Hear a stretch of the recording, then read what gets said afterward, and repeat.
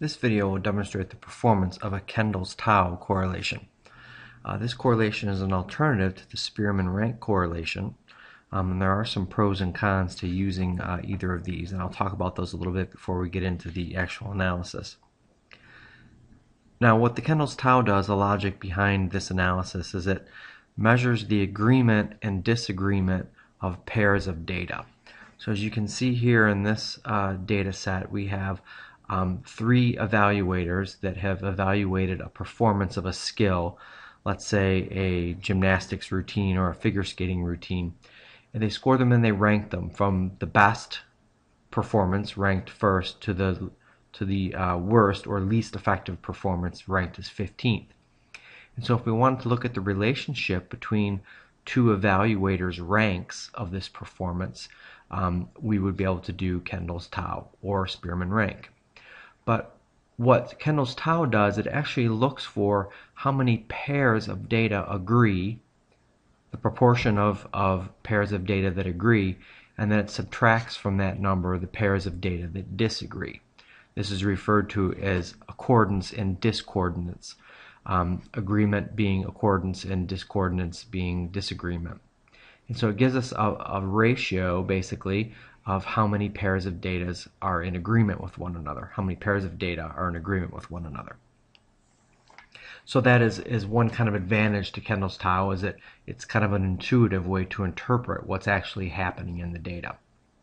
Um, some advantages of Kendall's tau versus Spearman um, is that Kendall's tau has a better estimation of the population parameter. Um, the p-values tend to be more accurate when we have small sample sizes. And then one thing that we notice when we're comparing Spearman to Kendall's is that the Spearman value tends to be inflated relative to Kendall's. And we'll, we'll talk, we'll see that when we do some of the examples.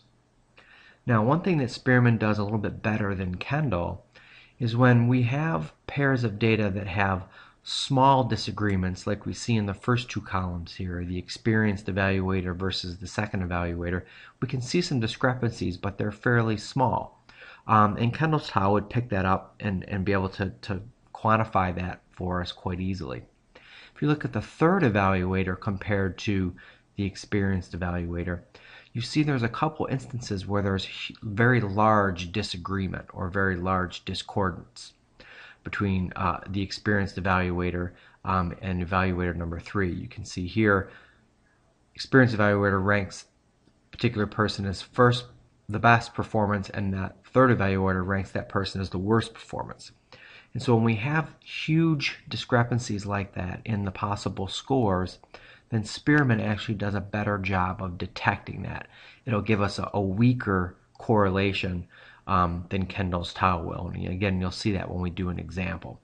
So those are some of the kind of pros and cons of Spearman's versus Kendall's, Kendall's tau. Um, and depending on the situation you're in, depending on the kind of data you're going to see, um, one might work better than the other for you as far as being able to detect significant differences. It is considered a non-parametric um, test because of the fact that we're, we're looking at uh, ranked data, um, both variables being ranks.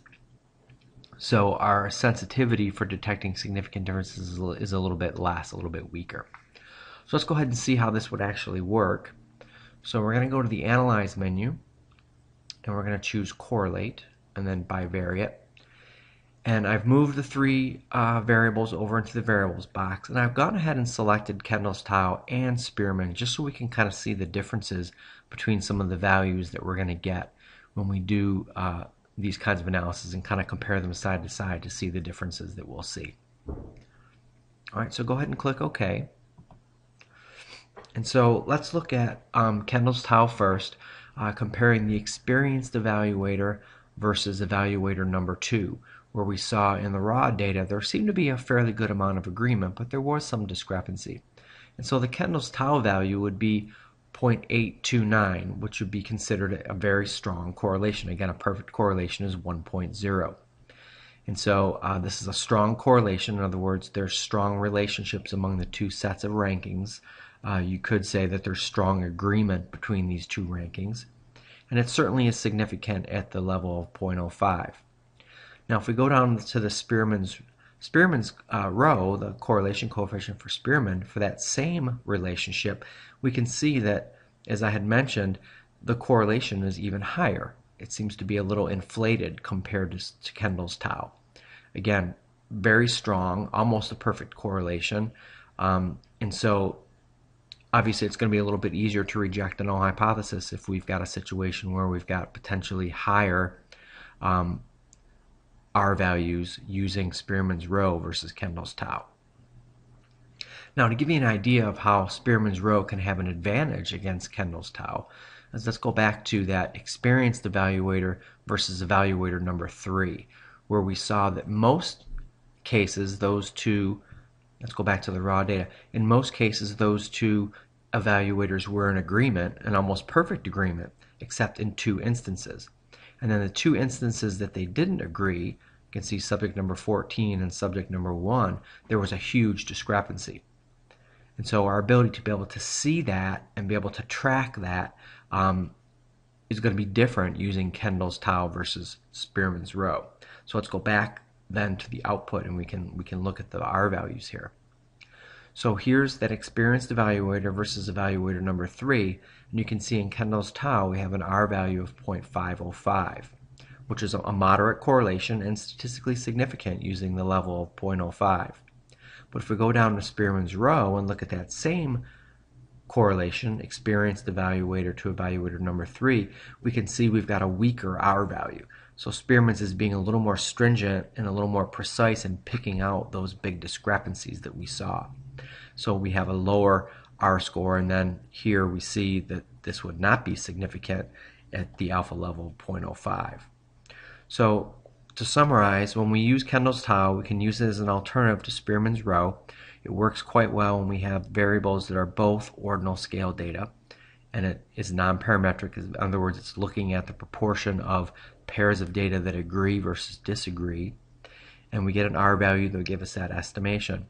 Um, for the most part, it seems to be a little more precise than Spearman's rho, except in the instances in which we might have some very large discrepancies in the data, then Spearman's rho might be the better alternative.